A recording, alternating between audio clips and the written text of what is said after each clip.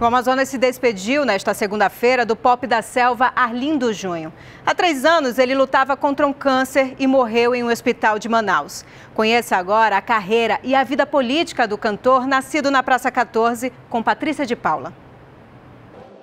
O lamento e o choro dos amigos. Ele realmente era, era o nosso ícone. Ele que era o nosso Porto Seguro.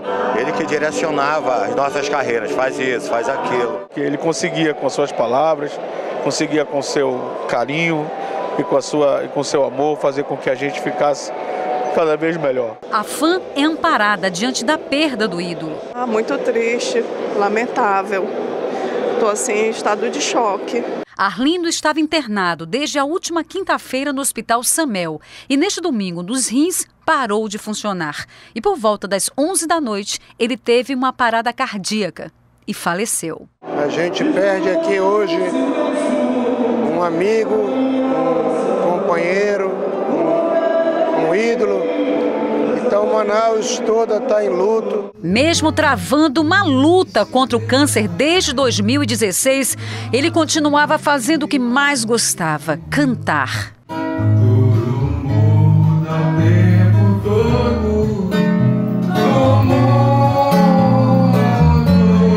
Há mais de 20 anos, a voz forte da estrela do boi bumbá caprichoso ecoou nos quatro cantos do Amazonas.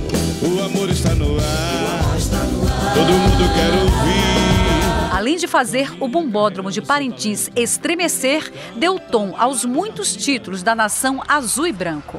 Essa água do rio e uma canoa como essa lembra um hino de grande sucesso, que é a saga de um canoeiro, cantada pelo pop da selva e muito querida por todos os fãs, porque remete à simplicidade de um povo. Sou, sou, sou, sou, sou, sou, sou, sou, sou canoeiro. E para garantir que a cultura ia ter um representante na Câmara Municipal, se candidatou e foi eleito vereador de Manaus. Entre vários projetos, um dos que mais se orgulhava era o da lei que fazia o Boi Manaus o evento oficial do aniversário da cidade. Ele também foi subsecretário e secretário de Cultura do Estado. Nas maiores crises, nas maiores votações, assim, mais polêmicas dentro da Câmara, ele sempre virava para a gente e dizia calma, calma, que tudo vai dar certo. Ele completou 51 anos no dia 20 de maio. O sorriso do amazonense iluminava por onde ele passava. Foi assim que fez de autoridades seus melhores amigos. Perdemos um, um grande amazonense, um grande artista e um grande homem público.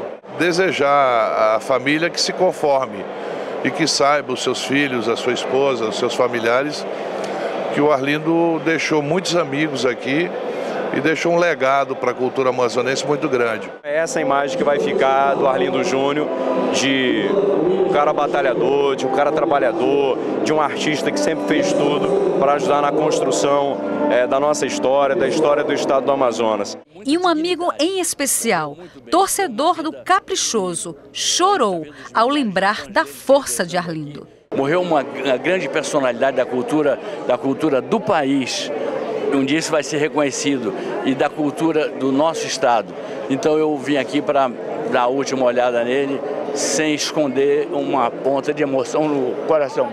Na representação desta que tem a cultura e nossas raízes, os bois caprichoso, garantido, corre-campo, garanhão e brilhante ficaram lado a lado para saudar o campeão da vida.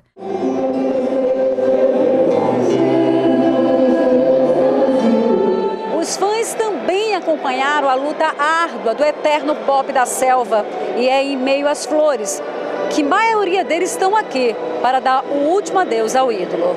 As flores simbolizaram a alegria de todos que passaram pela vida do artista. As lágrimas e o consolo foi o que restou para os apaixonados do Arlindo. O velório em Manaus vai até às 5 da manhã desta terça-feira. Às 6h30 segue para Parintins para ser velado no Bumbódromo. Tenho certeza que Deus recebeu na sua morada eterna uma estrela brilhando hoje no céu. Um cara que realmente contribuiu muito com, com a nossa festa, com, com o Caprichoso. E a perda dele é, claro que é, é muito dolorida para todo mundo. A gente realmente perde um grande homem, um grande homem da cultura. O corpo sai de lá ao meio-dia, chega em Manaus à tarde e depois segue para o cemitério São João Batista por volta das 4 horas da tarde. Tento concentrar muito nas boas lembranças dele, não, não só pelo que ele fez por nós, família, filho, é, mas por toda a nação, pela nossa cultura, entendeu? É, acho que ele vai ser bem lembrado. O azul da roupa dos fãs é uma alusão à do céu, onde ele vai estar cantando, só que desta vez com um coral de anjos. Sou, sou, sou, sou canoeiro. E vamos agora ao vivo a Parintins com o repórter Rony Belchior. Rony, boa noite. Como é que foi a repercussão da morte de Arlindo Junho aí no município de Parintins? Boa noite, Bárbara. Boa noite a todos que acompanham o Jornal em Tempo. É isso mesmo, a repercussão foi a pior possível, né? Os, os torcedores do Caprichoso, os fãs do Arlindo Júnior, uma comoção total aqui na cidade de Parintins, torcedores do Boi Contrário, Boi Bumbá Garantido, todos foram. Foi o dia rendendo homenagens na rede, nas redes sociais exatamente falando sobre o, o falecimento do Arlindo Júnior. Conhecido como Pop da Selva, o Arlindo Júnior chegou em Parintins no final da década de 80. Inclusive, ele estreou o novo Bombódromo, né? E, e, aí, então, nesse momento, ele despontou exatamente como item do Boi Caprichoso, foi convidado a ser levantador de toadas e até recentemente vinha fazendo participações nos CDs e DVDs do Bumbá. Bom, e havia um, um evento programado aqui para a Praça da Catedral, Praça da Catedral, mas foi adiado para amanhã devido a uma programação oficial com a, o corpo do Arlindo Júnior aqui em Pantis. Aqui ao meu lado, o, o, um dos compositores, né, que vinha fazer essa, exatamente essa homenagem e amanhã todos estarão reunidos para prestar os últimos agradecimentos a Arlindo Júnior, tá certo? Aqui o Moisés Colares, que faz inclusive um toque do Saga de um Canoeiro. Volto com você no estúdio. E voltamos ao Centro de Convenções Vasco Vasques, onde o repórter Tarciso Laime traz as últimas informações do velório que está acontecendo aqui em Manaus. Tarciso, boa noite. Muitos fãs já passaram por aí?